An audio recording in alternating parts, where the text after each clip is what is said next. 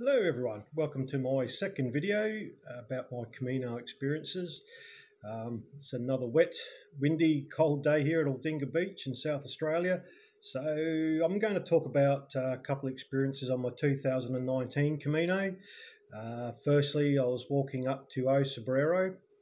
Um, started the day, I can't remember the name of the village, I should have looked it up I suppose, but uh, started walking and it was light rain and as I walked higher and higher and higher up the mountain, uh, the rain got heavier. Then it turned into hail, but not not bad hail like we, we get here, where it just pelts down and it was hard. But it was definitely uh, icy and hail. And then as I got up, and then the hail turned into gentle snowflakes, and yeah, it was it was a really cool experience from someone who grew up in a dry a dry hot climate in South Australia. I, I always loved the snow.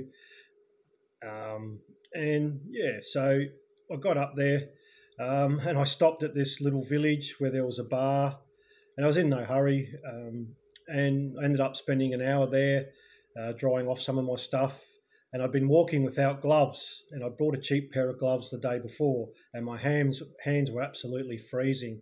So I spent an hour there, had a couple of coffees, uh, chocolate croissant, and some cake and dried my stuff up and then continued to walk. And as I left this little village, then it really was really a, a path. Um, I'd left the, the, the, the hard bitumen uh, footpath and that behind. And the path was started off as like a small well country country dirt road track and ended up into just a little path.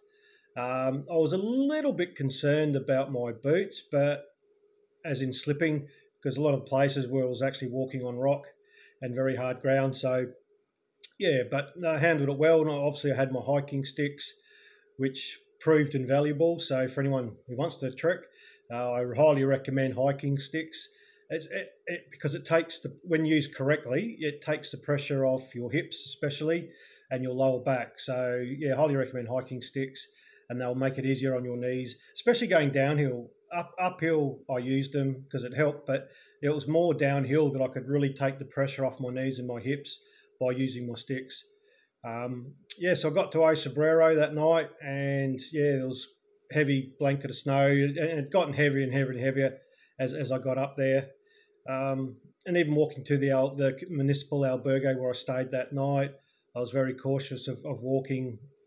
Um, yeah, there were still icy bits, but the snow was starting to create a nice little blanket on the ground. And I remember uh, walking in O Cebreiro in 2016. I never stayed there that night. I'd walk straight through, um, stayed in a village further down the track. But I remember like seeing all the markers on the side of the road that that have depth. Like here in South Australia and a lot of uh, in Australia, we have the the flood depth markers um, when you're driving through the creeks and river beds. Um, so I was intrigued by by actually having snow markers there. And then 2019, obviously, I got to experience the snow. Um, great experience.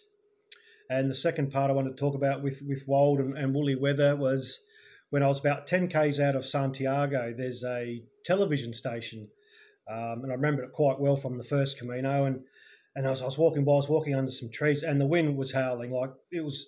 The rain was coming in horizontal. That the wind was that strong, and next thing I just felt this bang on the back of my head. And I've turned around and I'm looking like, you know, like someone's thrown something at me, and hit me in the back of the head. And it was just a, like a nut that had, that had come off the tree. Um, yeah, so that was another cool experience. And and walked mo- mostly into Santiago that day with, with uh, rain, high winds. Um, so again, good good weather gear is essential. The, uh, I remember the first year I did it, I'd, I'd started off um, beginning of September, and they were having record heat that year.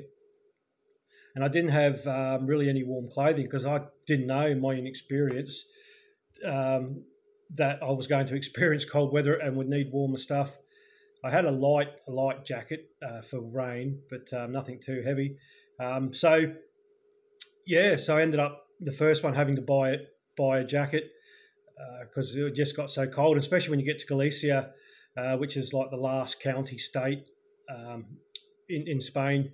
And it's always wet. It's always wet and um, cold. So, yeah, great, great experiences. Um, and yeah, I mean, I did have other rain and, and stuff, but yeah, walking in the snow was pretty cool. So I walked in the snow for two days, um, and then yeah, a lot of lot of cold, wet weather. Uh, walking through Galicia, and because I left a month later than I'd done the previous year, so we started off as Saint Jean Pierre de Port, where the weather was quite nice in the early parts, especially walking across the Meseta. Um, I got lucky actually with the Meseta. Um, I stayed two nights in Burgos. So I had a rest day, so I stayed in the municipal albergue, and then I paid for a, a private hostel, which was you know luxury to have a private private bed, my own shower, uh, not having to listen to anyone snore, and, and the smell of some of the albergues when you might have ninety people in big rooms, massive rooms, was just rows and rows of double bunks. Um, so yeah, that was pretty cool. And yeah, well, I see I'm up to the six minute mark, so I'll leave it at that. And uh, look forward to my next post.